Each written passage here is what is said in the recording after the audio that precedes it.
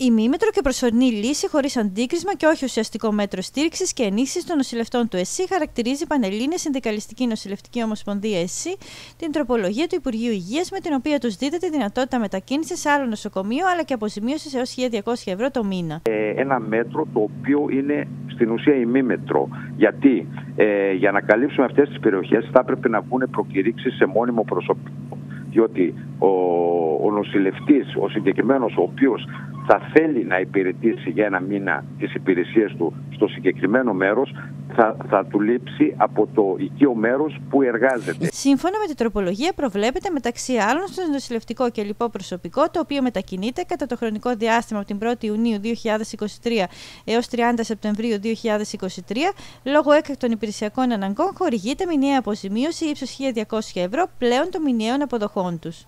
Ε, το φαγητό, το νίκαιο και λοιπά. Υπάρχουν όμως κάποιες περιπτώσεις που υπάρχουν κάποια καταλήμματα που οι νοσηλευτές και οι γιατροί μπορούσαν να μείνουν, οι οποίοι προσφέρονταν από τους οικείους δήμους. Δημιουργείται η εντύπωση παροχής οικονομικών κινήτρων και άρα οικονομικής ενίσχυσης στους νοσηλευτές, ενώ η πραγματικότητα απέχει μακράν, αναφέρουν οι νοσηλευτές. Ε, αυτό το μέτρο έχει δοκιμαστεί από πέρυσι ε, κατά τη διάρκεια του καλοκαιριού και βλέπουμε ότι αυτή τη στιγμή ε, έχει προχωρήσει μια τροπολογία ε, του Υπουργείου Υγείας ώστε ε, να δίνει τη δυνατότητα σε ιατρικό νοσηλευτικό και λοιπό προσωπικό για τους μήνες από Ιούνιο έως και Σεπτέμβρη για έναν μήνα και μόνο να μπορούν να μετακινηθούν με δικιά τους οικία θέληση με μία αίτηση στην ΥΠΕ ε, με τις θέσεις που θα βγουν και τις ανάγκες που προβλέπεται ότι θα υπάρξουν κατά την καλοκαιρινή περίοδο σε διάφορες φορείς ε, παροχής υγείας ε, και έτσι τους δίνει τη δυνατότητα να μετακινηθούν ε, για ένα μήνα.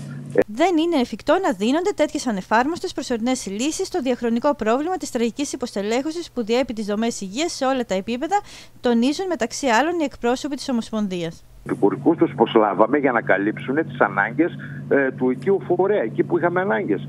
Και του αναφέρει η τροπολογία ότι ακόμη και αυτοί μπορούν να μετακινηθούν.